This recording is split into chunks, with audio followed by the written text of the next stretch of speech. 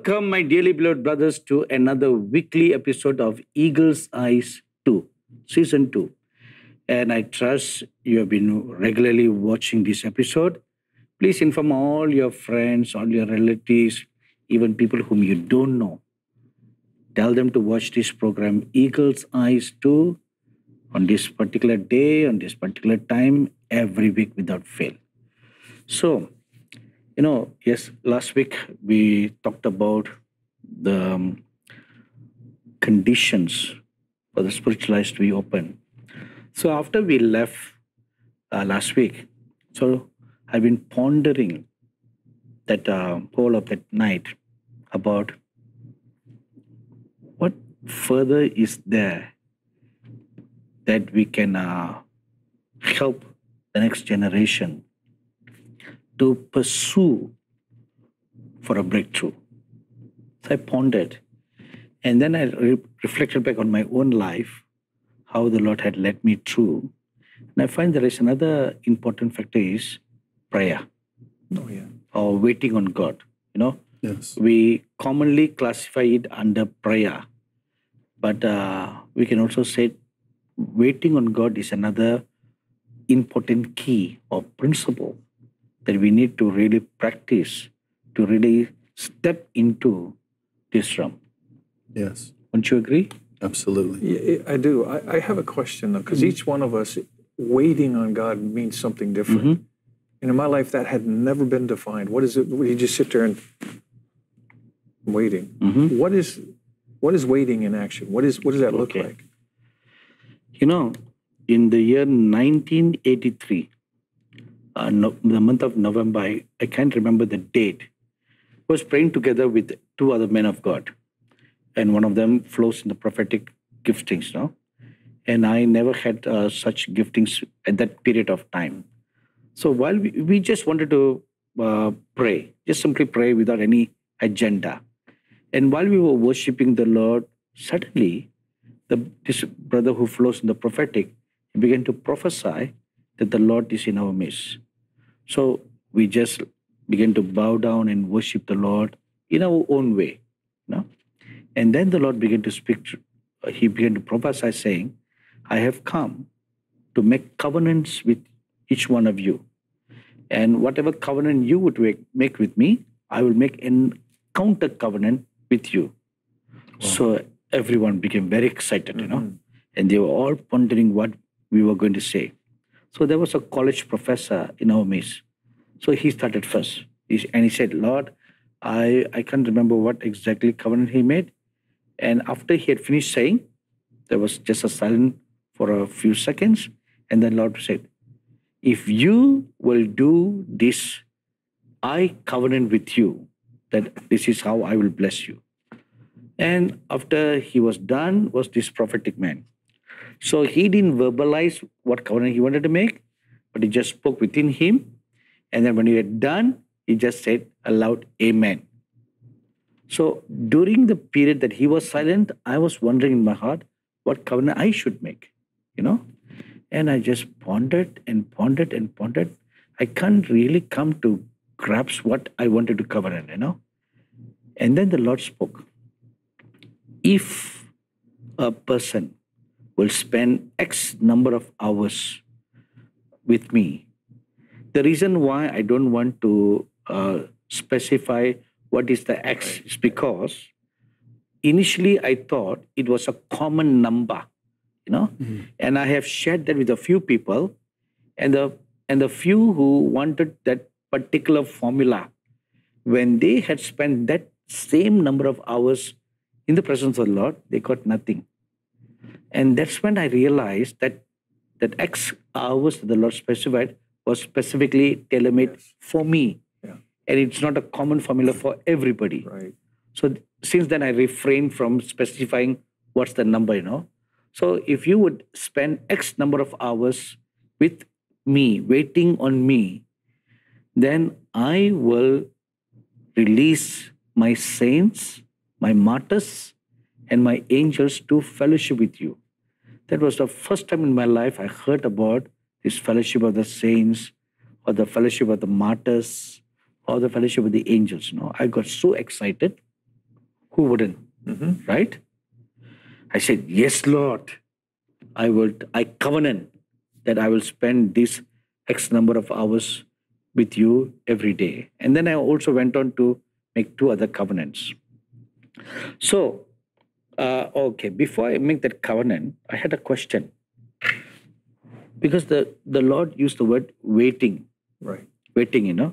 So, how to wait for X number of hours? It was more than five hours, okay? How to wait? You mean just wait silently? I had the same question, right? And the Lord answered what it means to wait on Him for that period of time. He said it included three components praying, opening your heart, talking with God. Secondly, worship, worship Him. And thirdly, meditating the Word of God. So, waiting from that uh, definition, I realized it was being in the presence of the Lord, being with God, just in His presence. Have you, uh, I think you may remember our late brother Neville Johnson share about Walter Butler, Yeah, yes. right? Have you heard of that? Yes, I have. So the Lord would call Walter Butler to wait on him, right? Right. So he just sits in the presence of the Lord and focusing on the Lord from two o'clock in the morning right up to daybreak. And he he did nothing special just to keep the Lord company. Right? You remember that, no? Mhm.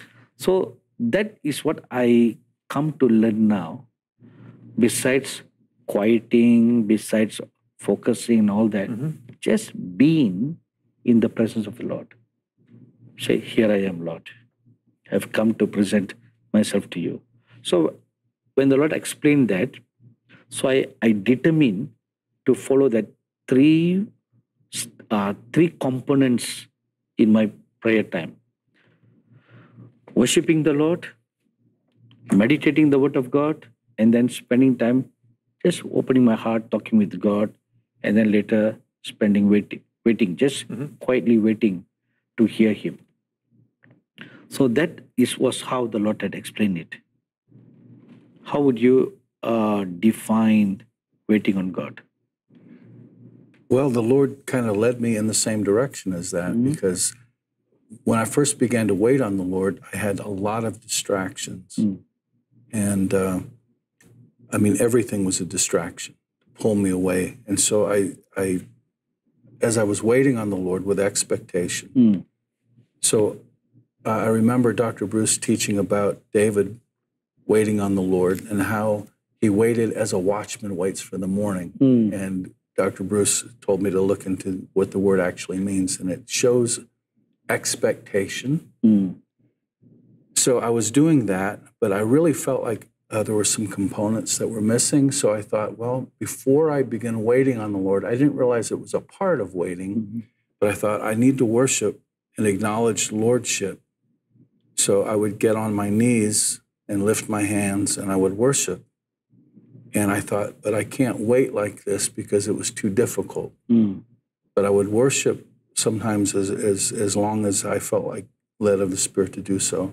Then I would move to my prayer time, which would I would either lie uh, prone on the ground or I would uh, sit in my chair or something like that, and then wait with looking with expectation. So when you lie on the ground prostrating, Yes, do you fall asleep?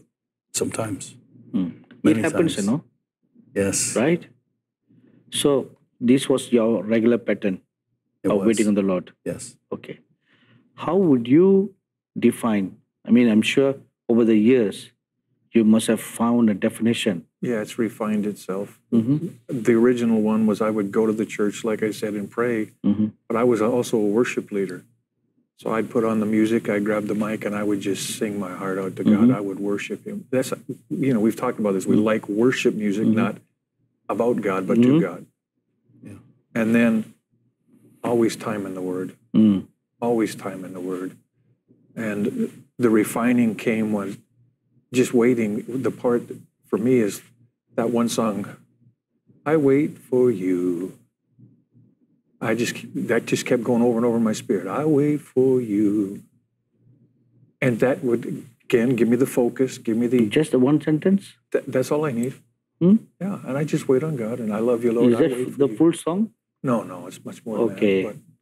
I thought you would sing now. No, no. Hmm, look at that. Don't have my recordings. Okay. But so for me, it, it's the exact same thing. Prayer, Okay, I- talking to God, worship, and I I am feeling that uh, there's a principle that you are you have employed in your journey when you say that uh, when you sing and all that. Now, your heart was always in anticipation, always. right? So I think that was a major key in your life. Yeah, you know, i- i- if we all reflect truthfully, Mm. there's not a time we entered His presence where He hadn't called us. hmm Even though we think it was our idea, it's never our idea. That's was always an invitation. Always. So when I came to that realization, anytime I felt an unction, that's Him calling to me. Oh, He wants to talk with me. hmm So there was the expectation, the anticipation, and the excitement.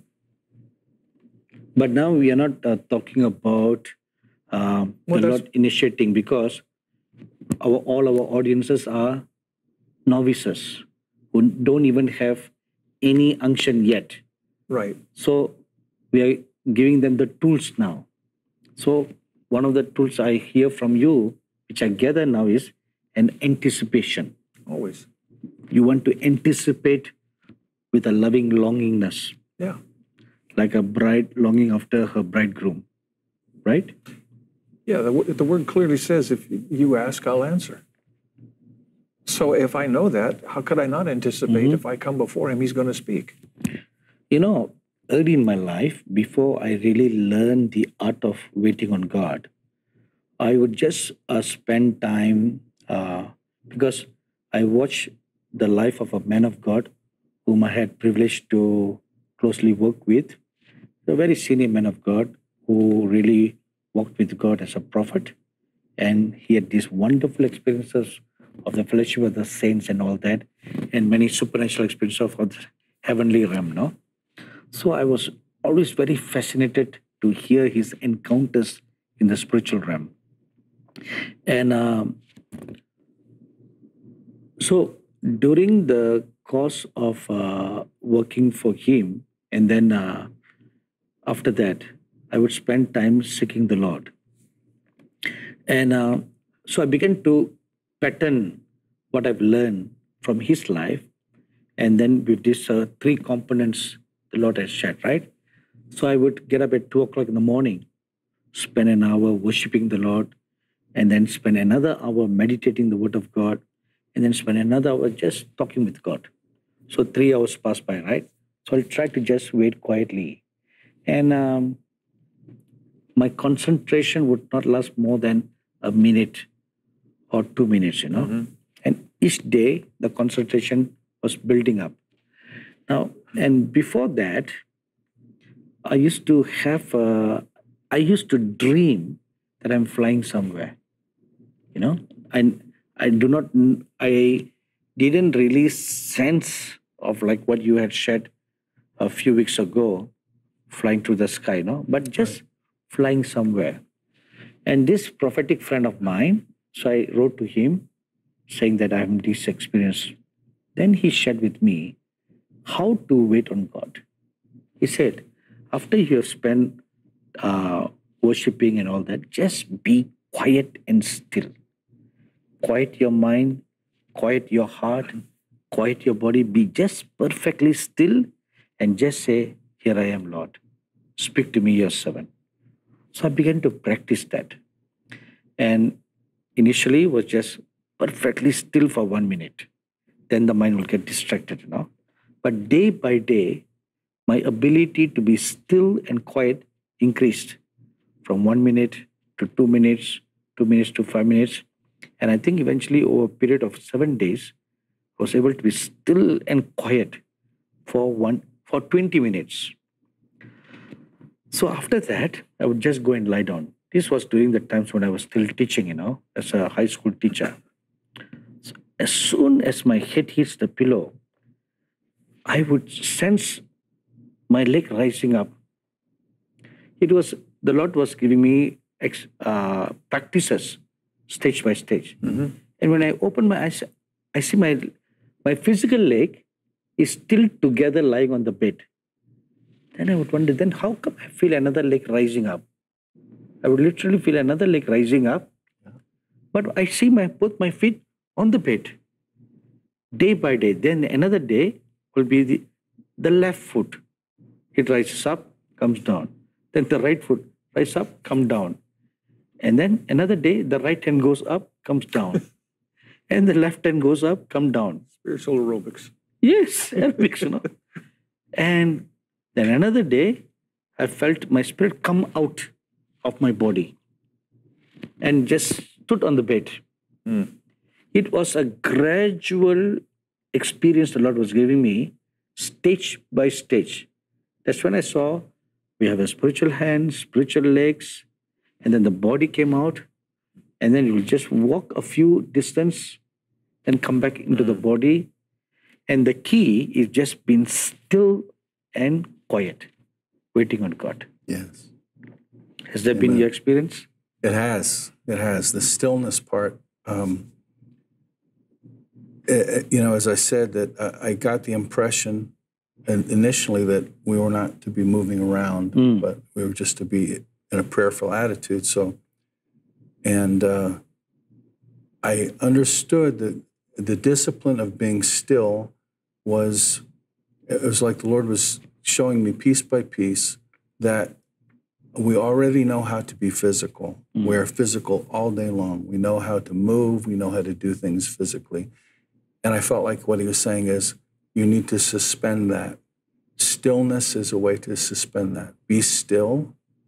Mm. Uh, and as we are still, then it seems like the spirit man rises to the front because it's like as long as we're trying to be active, then the uh, the physical has preeminence. Mm. But the minute that we begin to be still, then we can allow our spirit man Right. to come to the forefront, so to speak. So, uh, very much that's what the Lord also showed me. But it, it was a very, it was a kind of a long process because um, I was very undisciplined. This was a new discipline Mm.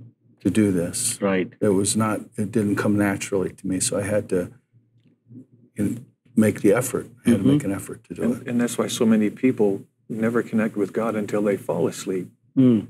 Yes, because it shuts all of this Mhm. off and now you're exactly. attuned or sensitive. Mhm. So I'm sure you two had practiced the same thing, right? Been still and quiet. Yes. Yeah, absolutely. Was it difficult for you initially? Oh, heavens, yeah. How long did it take you to really quiet yourself? Well, maybe I'm the slow guy in the group here, but but I have learned my lesson. Um, it took me really a number of years Mm-hmm. because I had no guidance whatsoever, other than the word. And Mhm.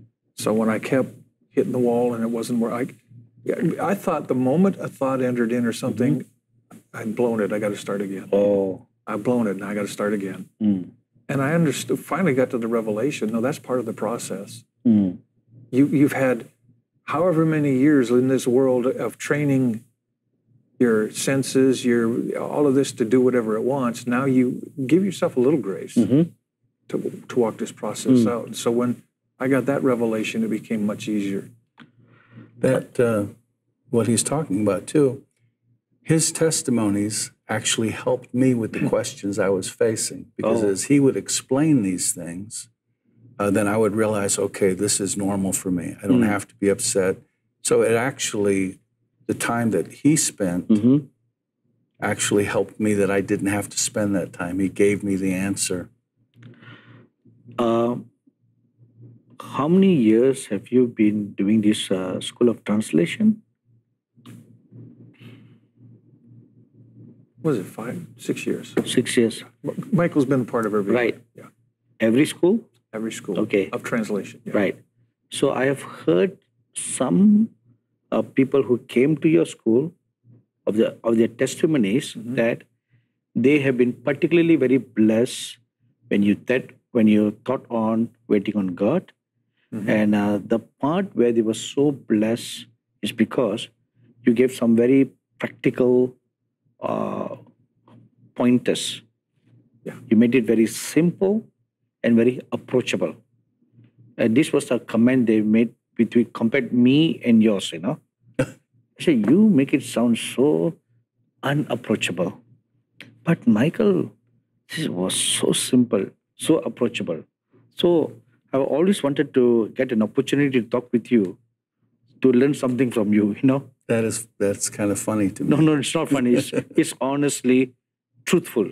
So please share uh, with us what are the simple practical pointers that you share in your messages or in the schools that can be very helpful to our younger generation. The uh, the practical things that I share, they don't seem very spiritual if you just look at the surface of it. Um, but it is basically that people have to first of all settle that this is what they really want. It can't be a passing interest, and then of course have biblical proof Mm. to give them peace in their heart to pursue. But if they've settled those things, now we come to the practical parts, which is actually setting aside time to spend with the Lord. Mm. So, and not just being haphazard in it. It's like, well, if I find the time, I'll do it. It can't be that. They can never find the time. They will never find the time. So, and in my own life, I tried to wait on the Lord during the evening, but there was just too much distraction. Mhm. I would tell the kids, please don't bother me. And 20 minutes later, They'll be knocking on the door. they're knocking on the door. Yes, Dad, we need to borrow money or whatever. Uh. but so I realized that wasn't going to work for me. So the Lord led me to wait till everyone is asleep in the house and then go to your time in prayer um, when no one is around anyway. The phones aren't ringing.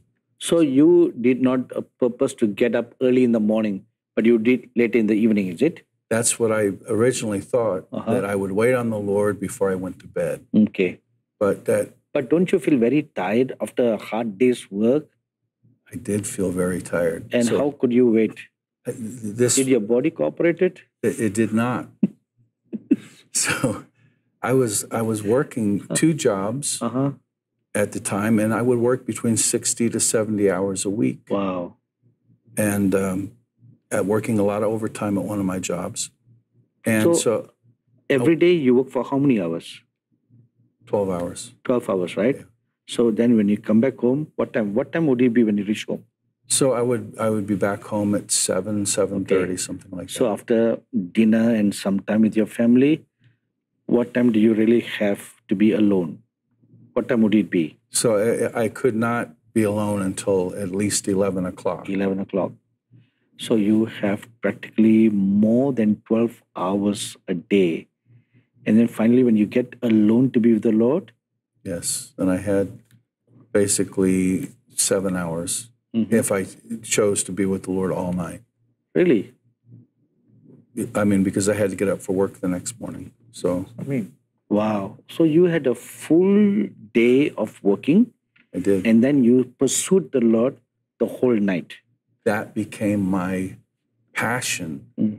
but not because you know I'm I was just so passionate Mm. as a person, but once I had a taste of the heavenly gift, Mm. once the Lord spoke to me, I, I would go. I couldn't pass up spending the night in prayer because I would always say, "What if tonight is the night of visitation?" Mm. and I would miss it because I want to go lay down and get some sleep. So I thought I'll just wait on the Lord a little bit first. But it never worked out that way. Okay, so a pointer number one is to set time. Set a time. And then what are the practical things you shared with the in the school? Okay, so um, practical is that you don't want anything physical pulling you back from the things of the spirit. Mm.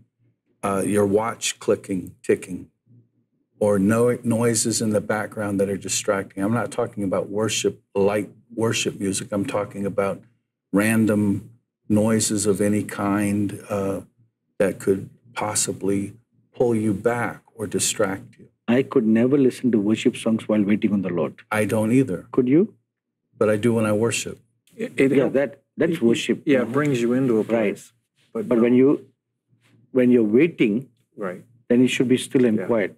Yeah, I, that's the, what I would have to have mm-hmm. st- also stillness and quiet. Mm-hmm. But so I would, uh, the, the Lord taught me all this through making mistake after mm-hmm. mistake because I would wait on the Lord for two hours and then all of a sudden I would feel like I, I'm having a visitation of some sort. I would feel the atmosphere change.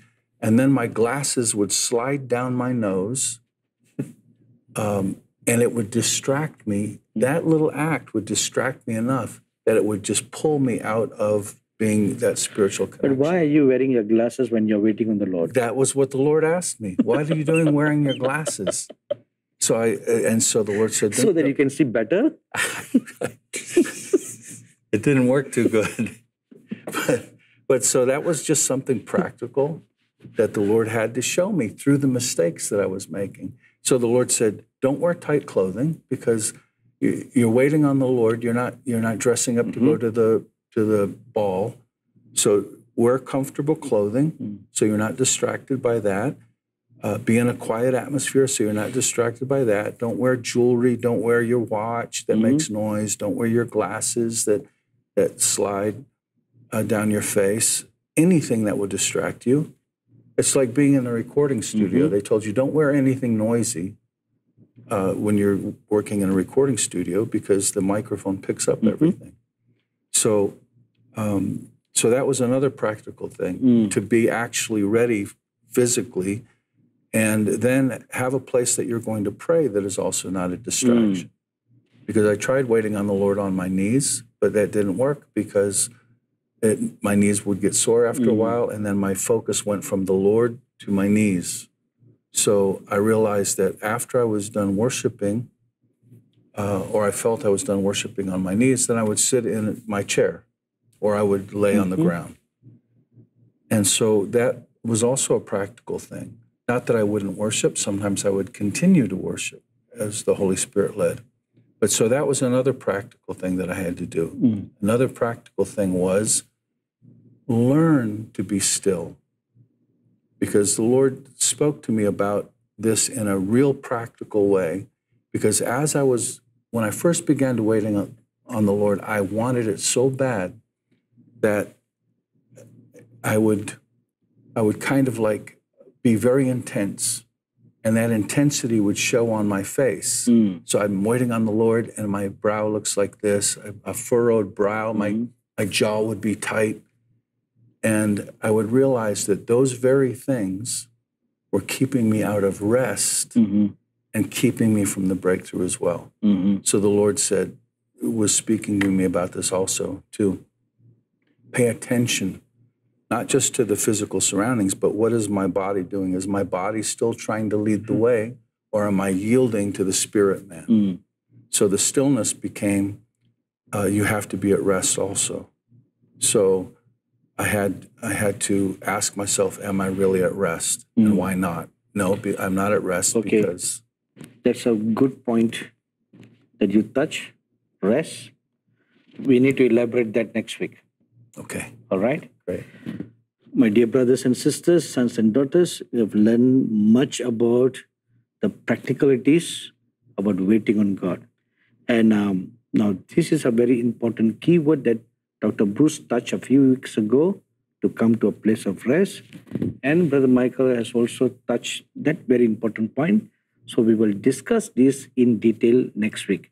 God bless you all till we meet again next week.